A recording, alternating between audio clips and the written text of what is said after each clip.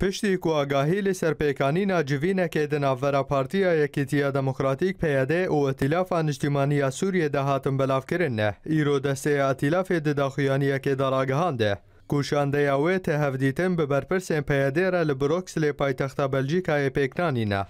هەروسە دەستەیاتی لافێراگەهاندێ کو هەمیجیین و هەفدیتنێن شاندەیاوێ بۆ برۆکسلێ برەنگەکی ئەشکەرە و لەگەل ئامورێ مەدیایە پێکتێنە و دازانین کوشاندەیاوێ لە برۆکسلێ بدەستەیە هەفرێزیە نیشتیمانی یا هێزا گوهرتنا دموکراتیک رەجویایە داکوکارێ هەڤەش دناڤەرە هەردوالیان دەژیان بکنە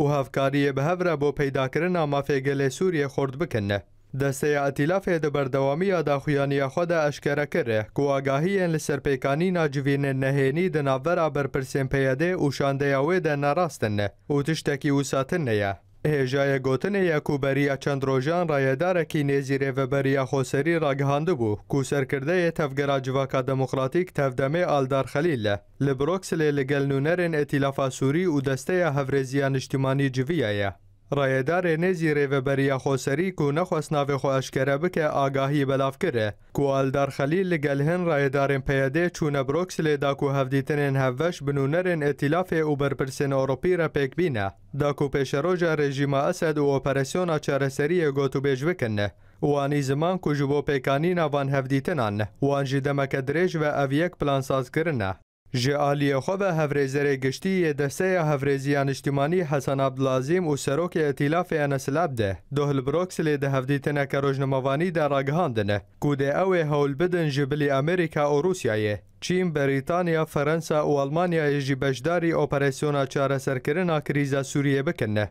پشتی که همی پلان نفدولتی با بداوی کرنا کریزا سوریه بسر نکتن